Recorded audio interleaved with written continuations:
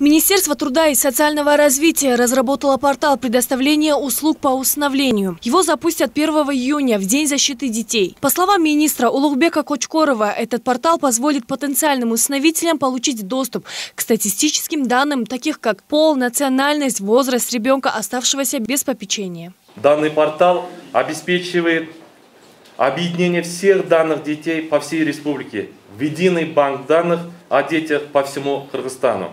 Данная система создает равные права для кандидата в усыновители, независимо от его места жительства и нахождения ребенка, так как кандидаты в онлайн-режиме могут увидеть сведения о всех детях, подлежащих усыновлению по всей республике, согласно заданным критериям э, на ребенка.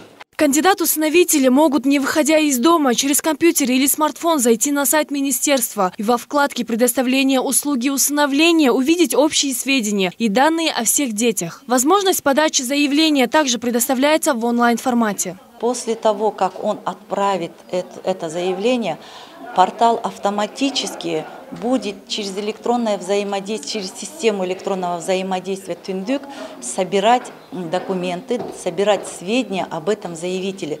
То есть ГРС выдаст его фамилию, паспортные данные, а там МВД он выдаст э, наличие судимости или об отсутствии это заявление автоматически попадает э, в районное управление социального развития по месту проживания заявителя.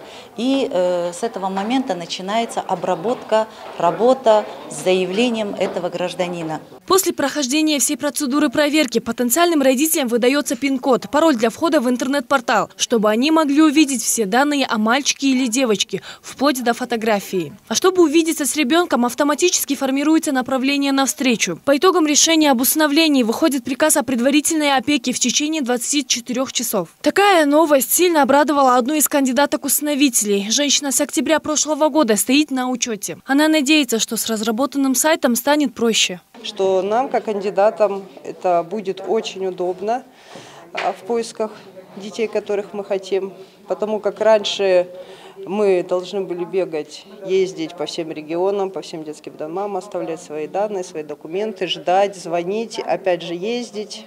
А, а сейчас, то есть мы зашли, посмотрели, нашли, кого нам надо, там мальчика, девочку, если нас устраивает. Поэтому я считаю, что это очень хорошо и очень замечательно.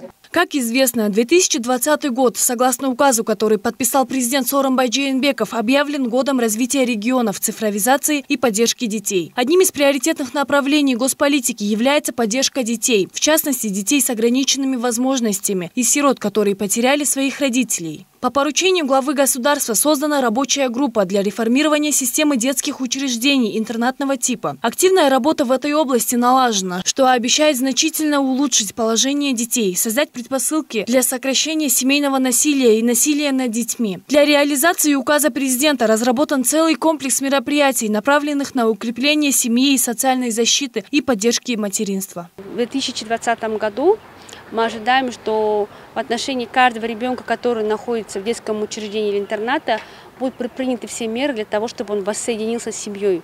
А это произойдет через укрепление семьи, через развитие социальных услуг по семейной поддержке, а также по развитию приемных семей или так называемых фостерных семей. И, конечно, через обеспечение инклюзивного образования, через создание условий а, для того, чтобы ребенок с инвалидностью мог обучаться в обычных школах без отрыва от семьи.